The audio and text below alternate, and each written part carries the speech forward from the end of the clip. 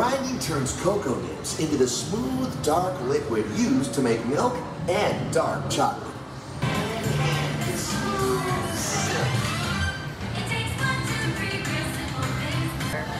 Then we mix in the cocoa butter we pressed out earlier and add a dash of vanilla. This brings out the chocolate's rich taste and creamy texture, and of course, that wonderful smell.